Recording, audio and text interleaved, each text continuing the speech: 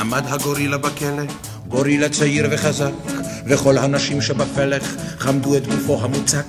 ברטט הביטו הם פנימה, ישר באותו הדבר, שלפי מצוותיה של אמא, את שמו לא אוכל כאן לומר. זהירות הגורילה.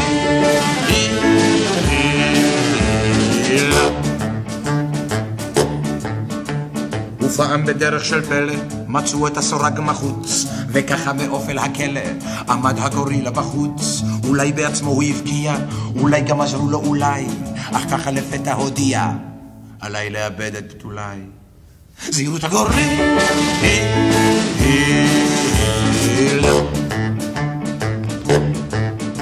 שמע מאמן הגורילה, מיד במקומו הוא קפא, אסון עוד יקרה פה חלילה, הקוף לא ידע עוד קופה, וכל הנשים שבגבר הציצו אתמול בלי בושה, עתה נמלטו לכל עבר, כן אין עקביות באישה. זהירות!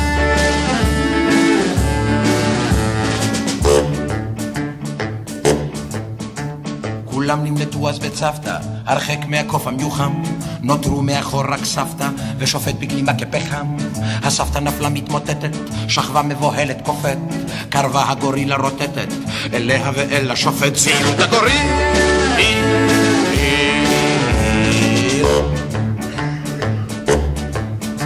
שכבה הסבתא ללא נוע, חשבה לפחד אין ממה, כי אם כבר יעז בלנגוע, זו סתם הפתעה נעימה. הרהר השופט מסוכן הוא, אך אין כל מקום לדאגה. אני כקופה מגוחכנו, מיד יווכח ששגה זהירות הגורילה.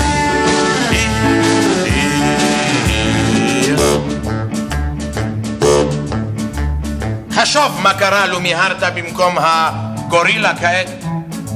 מי מן השניים בחרת? זקנה בת מאה או שופט? אני? אני את עצמי אני יודע? אני הייתי נוהג בתבונה? הגיל רבותיי לא קובע. הייתי בוחר בזקנה. זהירות הגורפים.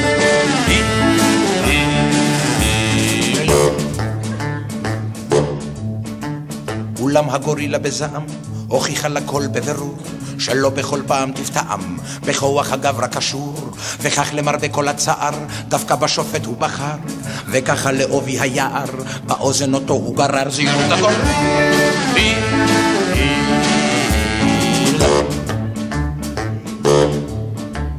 הסוף די עליז באמת, אך פתאום קולקלה הבדיחה, כי דווקא ברגע המתח פרץ השופט בצווחה, אמא, לפתע צרח, בקול מפוחד ואיום, ממש כמו האיש ששלח אותו בוקר ישר לגרדום.